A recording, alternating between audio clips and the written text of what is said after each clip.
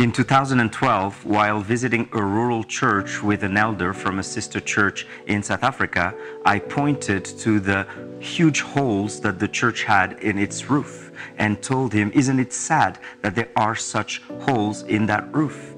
To which he responded something that surprised me. He said, Yes, there are holes in that roof, but what about the holes in the pastor's theology?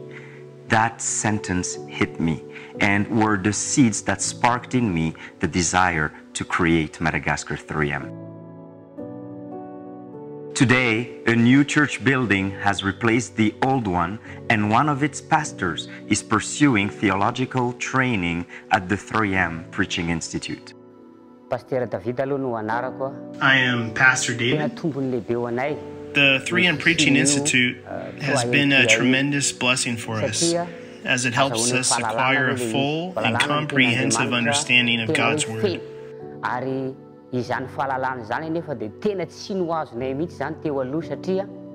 Before 3MPI, accessing theological training was difficult due to geographical distance and financial constraints.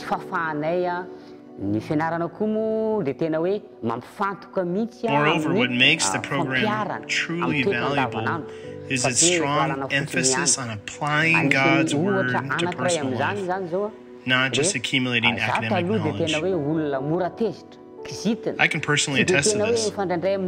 I used to struggle with a hot temper that strained my relationships with others. Thankfully, through this program, God is transforming me into a more humble and gentle person.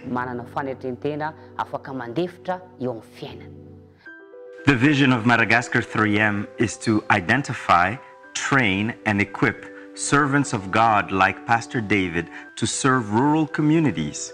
Currently, 22 students benefit from 3MPI's program, but a lot more should be done to impact this country. For instance, in a major Reformed denomination with about 6,000 churches, only one out of five have permanent pastors. So far, Madagascar counts over 12,000 churches, and the shortage of shepherds is undeniable.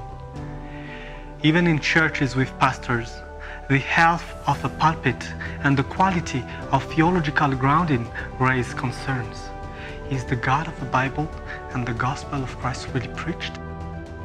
While 70% of Malagasy people identify as Christians, their belief in the God of the Bible and their obedience to the Lord Jesus Christ is very much questionable. Attending church is just a tradition that everyone does, and personal application of the Christian faith on a daily basis is clearly missing.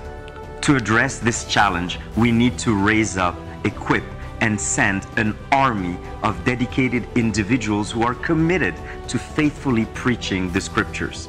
This is the calling for every believer in Madagascar, and this is the mission at the heart of Madagascar 3M.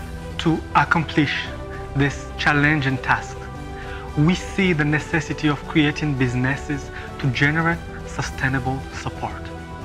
The harvest is plentiful, but the workers are few and we need to fuel the Lord's harvest.